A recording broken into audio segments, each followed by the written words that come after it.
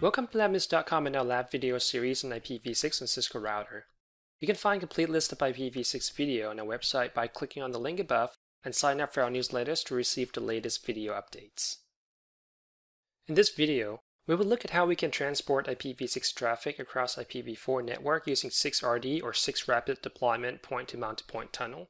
And we're specifically going to look into two scenarios, CE to CE tunnel and CE to BR tunnel. Now for our lab topology, we have three routers, R1, R2, and R3, with R2 and R3 being a CE or client edge router connected to a client-based IPv6 network. Now for R1 is a BR or border relay router connected to a provider or internet edge IPv6 network. Now here in the middle we have an IPv4 network with EIGRP enabled to provide reachability between R1, R2, and R3 loopback 0 interfaces, which we were primarily going to be using as a source interface for our tunnel. Here we also have a Wireshark machine setting up to span on R3 interface so we can later on analyze the tunnel packet. So before we dive into our configuration task, let's spend a little bit of time understanding the concept behind the 6RD tunnel. So the 6RD tunnel is actually intended to be used in the ISP service provider environment, but you can easily adapt it to use a, pretty much any environment you like. The idea behind the 6RD tunnel is very similar to 6 to 4 tunnel, where the IP of the tunnel destination or source is actually embedded as part of the IPv6 address. But with the 6RD tunnel, there's actually an enhancement as far as we no longer fix to a certain IPv6 prefix format. As you can see here with the subnet format that's laid out, the IPv6 prefix can be pretty much a variable length. It's no longer a 2002 slash 16, so it can be anything that you like, or usually it's the IP v6 subnet uh, that you actually own as far as you being a provider. Same thing here with the embedded IPv4 instead of having the whole 32-bit IPv4 embedded into the prefix, it can actually be a variable length and that's is only actually part of the IPv4 space that you own. Concept of subnet ID is still there, although it's also a variable length instead of a fixed 16-bit length. And when you combine all these together, it still has the length of 64 bits. So you can see the format is much more flexible with the 6RD tunnel compared to the 6 to 4 tunnel. Here, just to give you a little bit of a better understanding, here we're giving you an example. Let's say that you own an IPv6 prefix of 2003 AABB slash 32 and IPv4 of 172.16 slash 16.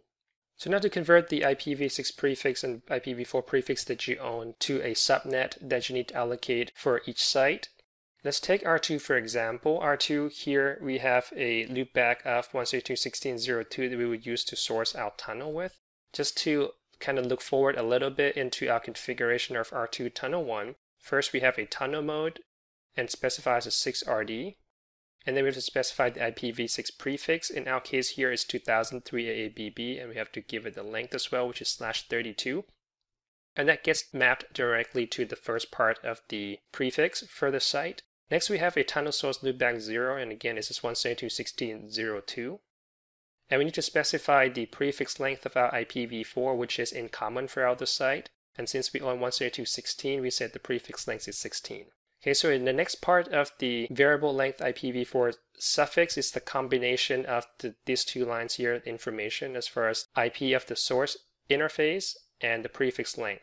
Say by specifying the prefix length to be 16, the remaining bits for the IP is 02, which is the last 16 bits, and that gets mapped to the variable length IPv4 suffix part of the address. Okay, and X to represent the subnet ID, and that can be pretty much anything that you would like to use for the site. So this is how we came up with 2003 AABB2 X slash 64 for the site that R2 router is connected to. Here for the X, we choose it to be 1 and 2, okay, which is our subnet ID. So with that knowledge, let's go through our configuration task. Here in this lab, we assume that we own a IPv6 space of 2003 AABB slash 32 and IPv4 space of 172.16 slash 16. Okay, with task number one, 6RD tunnel with CE to CE. So first we're going to try to establish connectivity between these two client-based IPv6 network between R2 and R3. And first we need to configure a 6RD tunnel on R2 and R3 based on the IP information that's been provided and the IP address of the tunnel needs to be configured using the general prefix command and the tunnel interface has to be sourced from loopback 0. Then we need to create a loopback 5 and 6 on the two routers with the IP subnet that's just in compliance with the IP scheme that we own. And we're pretty much free to choose any of the two subnet ID for each of these routers. And then we need to configure static route to provide reachability and make sure that static route also will cover any of the future IPv6 site that we will later on add it. And then we need to verify reachability and analyze the packet captured using Wireshark.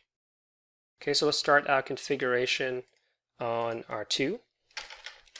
First, we want to configure our tunnel interface, but before that, we need to define our general prefix with the command IPv6 general prefix. And we have already encountered this back in the 6to4 tunnel lab videos, but here we also going to use it for our 6RD. Basically, for the general prefix is the template of the IPv6 prefix that you can pretty much reuse for any of the interface IP configuration. First, we need to give it a name, so we're going to call it something intuitive, which is 6rd prefix. With the question mark, anomaly, you would here specify the IPv6 prefix that you would use throughout router configuration, but you can also see here that we have special option for 6RD and 6to4 tunnel. Since here we're dealing with 6RD, we've specified 6RD, and then we need to specify the tunnel interface, and we're going to choose tunnel number 1. So now getting under the interface tunnel 1 with IPv6 address, and normally you would configure regular IP address right here, but since we are using general prefix, we're going to refer back to the name of the general prefix we just created and the remaining part of the prefix can be usually pretty much anything as far as the IP address, but just to keep it simple, for our 6RD tunnel here, we're just going to do colon colon slash 128. Okay, so next we need to source our tunnel from our loopback 0, and then we'll switch on to the mode IPv6 over IP, special type of 6RD. And then there's a sets of command for 6RD. To question mark, we got BR, which we will later deal with in the next task. Here we have the prefix, which specify, as we talked about earlier, and that is for the IPv6 prefix that you own. So for us is 2003 AABB slash 32 and then we need to specify the IPv4 part of it.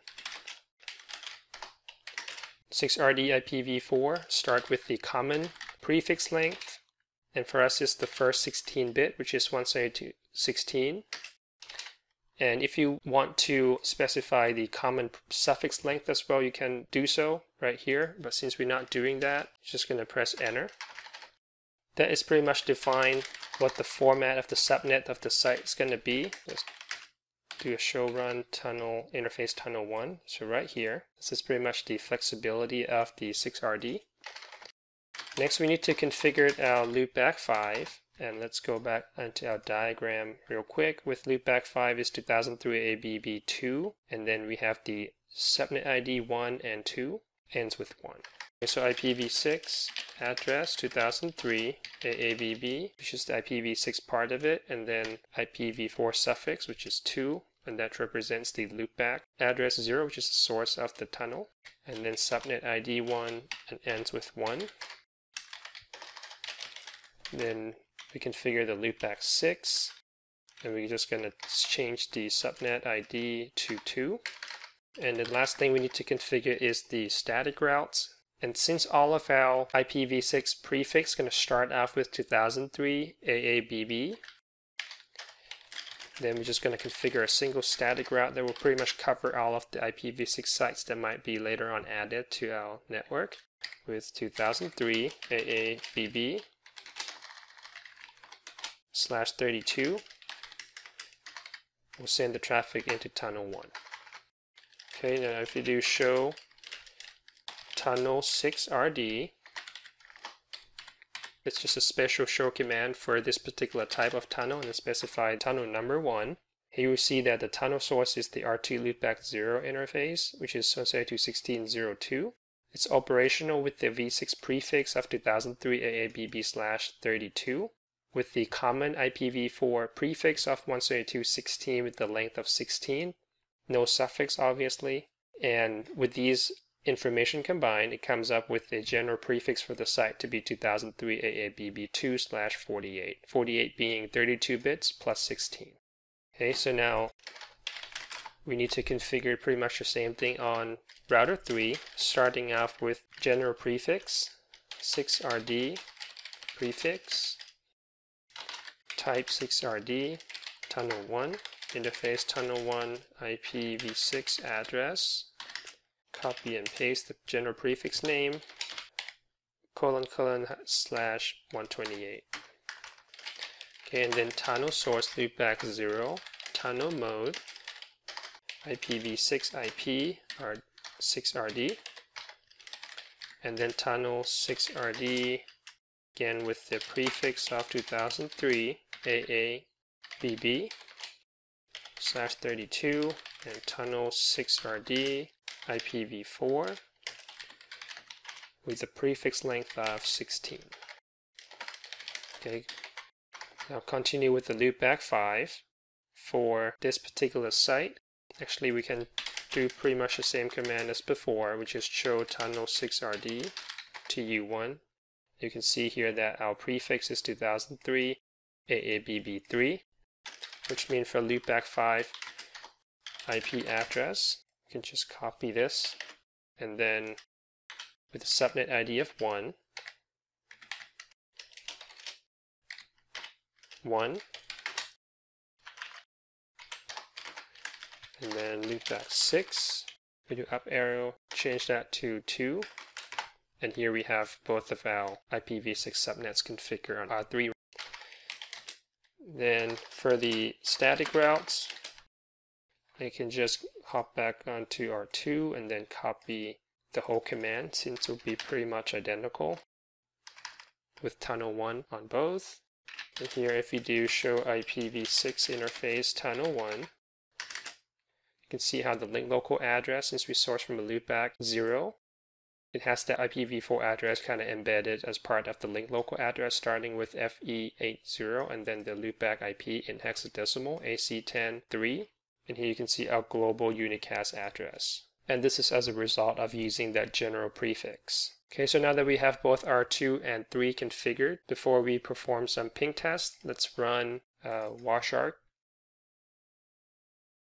on this interface, start the capture, and from R3 we can try to ping R2 loopback 5 with AABB 2 subnet 1 1 sourcing from its own loopback 5. See those are successful.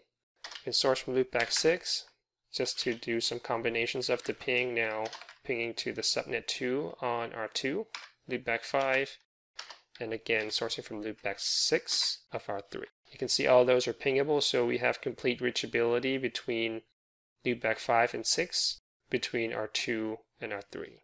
Okay, so let's take a quick look at our packet capture here. Start off with the first batch of ping with R3 loopback 5. You can see the IPv4 header with the source IP of 172.16.03, which is R3 loopback 0, going towards 172.16.02, which is R2 loopback 0, and that is the tunnel destination. While the actual IPv6 source and destination is the uh, R3 loopback 5, going towards R2 loopback 5.